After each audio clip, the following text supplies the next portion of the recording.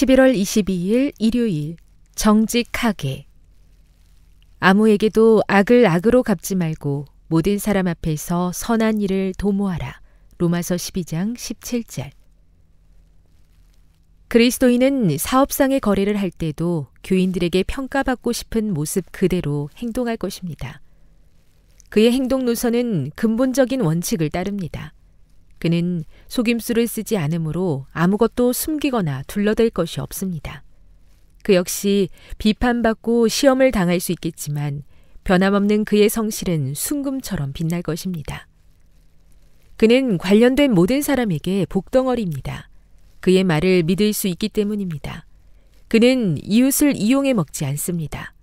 그는 모두의 친구이고 후원자이며 동료들은 그의 권고를 신뢰합니다.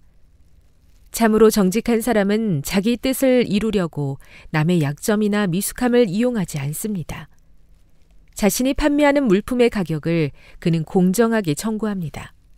물품에 하자가 있으면 금전상의 손해가 생기더라도 솔직하게 형제나 이웃에게 알려줍니다. 삶의 구석구석에 정직이라는 가장 엄정한 원칙이 유지되어야 합니다. 세상은 이 원칙을 따르지 않습니다.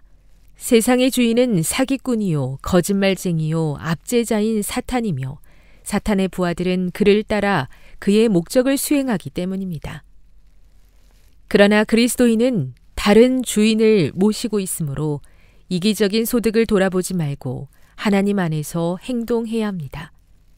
사업상 거래를 할 때 완벽한 공정성에서 벗어나는 일을 사소하게 여기는 사람도 있겠지만 우리 구주께서는 사소하게 여기시지 않았습니다. 사근사근하지 않고 여러 면으로 부족해 보이더라도 마음이 올곧고 정직한 사람은 존경받을 것입니다. 흔들림 없이 진실을 추구하는 사람은 모두에게 신뢰를 얻을 것입니다. 믿음의 형제들뿐 아니라 믿지 않는 이들도 그를 존경할 수밖에 없을 것입니다. 엘렌지 화인 레터 1878년 3월